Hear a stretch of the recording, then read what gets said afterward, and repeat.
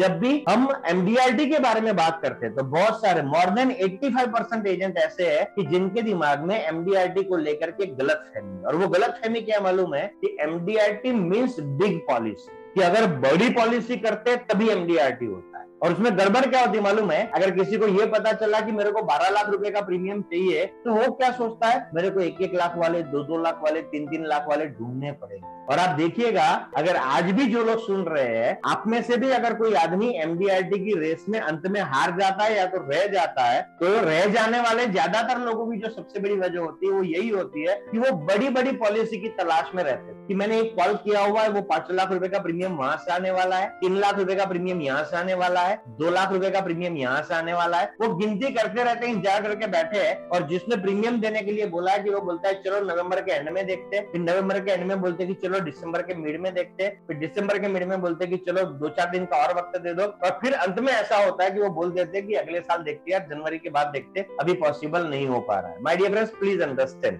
अब जो बोलने जा रहा हूँ, उसे ध्यान से सुनिएगा। इंश्योरेंस में हमारे पास में दो प्रकार के क्लाइंट होते हैं। एक होते हैं मिडिल क्लास के लोग। और दूसरे होते हैं H N I H N I हम उन लोगों को कहते हैं कि जो हमें एक साथ एक लाख, दो लाख, पाँच लाख, दस लाख, पच्चीस लाख, पचास लाख की प्रीमियम देते हैं। इंश्योरेंस मिडिल क्लास की ज़रूरत है और एच एन आई की चॉइस है।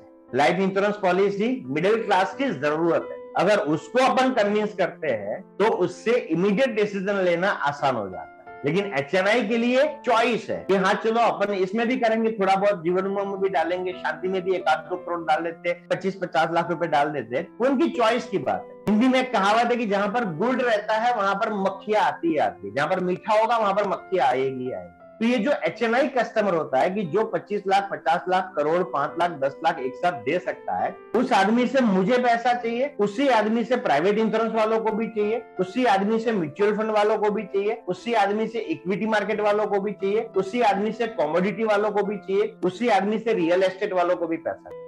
लोग लाइन लगा के उसके पास में खड़े हुए। मैंने उनको बोला कि एक करोड़ रुपया जो है, अगर अपन जीवन अक्षय में डालते हैं तो इस प्रकार से छह छह लाख रुपया ज़िंदगी भर आते रहेंगे। सिक्स परसेंट गारंटेड में बता रहा हूँ। अब मेरे जाने के बाद में कोई रियल एस्टेट वाला है कि यहाँ पर जमीनों के भाव बहुत तेज़ी से बढ़ रहे हैं, इसमें आप डालिए एक करोड़ रुपया पाँच साल के लिए, पाँच साल में ढाई करोड़, दो करोड़ तो आसानी से खिलते खेलते आएगा। तो ये कौन सा आदमी रिस्क टेकिंग कैपेसिटी वाला आदमी है। इससे गारंटी से ज़्यादा ग्रोथ में मज़ा आता है। तो उसके पास पैसे नहीं है, वैसा नहीं है। लेकिन उसकी प्रायोरिटी चेंज हो जाती है। तो मैं हमेशा कहता हूँ कि एचएनआई की जो कॉलिंग करने की बात होती है, वो जनवरी से अक्टूबर तक आपने जितने किए हैं, उसकी फॉलोअप की जा सकती है। लेकिन अगर मैं नए कॉल करने की कोशिश करता हूँ तो उसमें इमीडिएट क्लोजिंग की संभावनाएँ बहुत कम होती है। तीन चार दिन पहले की बात है, एक लड़के से बातचीत हो रही थी तो वो मेरे को समझा रहा था कि बोले, सर, एक जगह से मेरा साढ़े तीन लाख रुपए का प्रीमियम फिक्स है, बोले, एक जगह से पाँच लाख रुपए आने वाला है, बोला, कौन सी डेट बोला है? पंद्रह दिन बोला एक साढ़े तीन लाख रुपए वाला? बोले, सर, वो तो आज शाम का ही कॉल है। इसमें गलती क्या होती मालूम है? जिसको बड़ा कॉल किसी ने आज शाम को बुलाया है ना तो उसकी हालत कैसी हो जाती है? उस लड़के की तरह हो जाती है कि जिसकी प्रेमिका ने उसको ये बोला है कि शाम को आठ बजे मिलते हैं। तो वो लड़का सुबह से मूड में रहता है, एकदम रंगीन मिजाज में रहता है कि शाम को तो उनसे मुलाकात होगी। और वो पूरे दिन कुछ नहीं करता। बस इसी इंतज़ार में कि कैसे भी करके शाम को मुलाकात हो जाए। अब वैसा ही इस एजेंट का हाल होता है कि जिसको किसी कस्टमर ने बोल दिया है कि आज शाम को आप आइएगा, हम बात कर रहे थे पैसे वाले लोग तो बड़े समझदार होते तोल मोल के शब्दों का इस्तेमाल करते उन्होंने क्या बोला? शाम को आ जाइए, अपन बात कर लेते अब ये क्या सोच के बैठा है कि शाम को इन्होंने बुलाया है चेक दे ही देंगे। अब शाम को ये जो एचएनआई नाम की महबूबा से मिलने के लिए जाना है, इस वजह से ये एजेंट एकदम रंगीन मूड में बैठा हुआ है। ये पूरे दिन किसी को मिलता जुलता नहीं है। पूरे दिन कोई काम नहीं करता। इसके दिमाग में कि बस आप तो तीन लाख रुपया आए।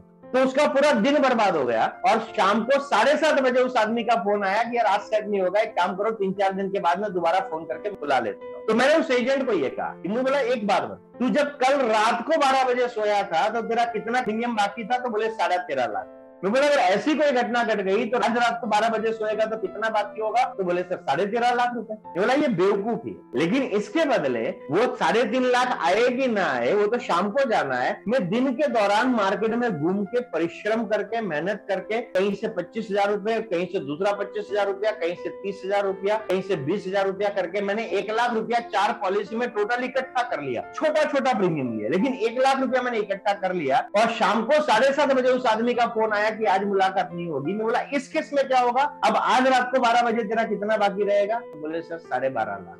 सो प्लीज़ अंडरस्टैंड कि जब हम ये गलती करते कि वो बड़ा बड़ा आने वाला है, उस चक्कर में छोटा छोटा खेलना ही नहीं मतलब ये कैसी बात है मालूम है? कई बार आपने देखा होगा, हमारे भारतीय क्रिकेटरों ने भी ये गलती की है कि छक्का मारने का बॉल यदि नहीं मिलता है तो सिंगल डबल भी नहीं मारते। तो ऐसा ही कई सारे एजेंट ये गलती करते हैं कि बड़े बड़े प्रीमियम बड़ी बड़ी पॉलिसी के चक्कर में उस जगह पर खेलना बंद कर देते हैं कि जिस जगह पर क्लोजिंग करना बहुत आसान है मैं दोबारा बोल रहा हूँ, हम उस जगह पर खेलना, उन गेंद को खेलना बंद कर देते हैं कि जिसमें हो सकता है चौका छक्का ना आए, लेकिन सिंगल डबल रन तो बड़ी आसानी से मिल सकता है। ये गलती मेरे भाई कृपया करके ना करें।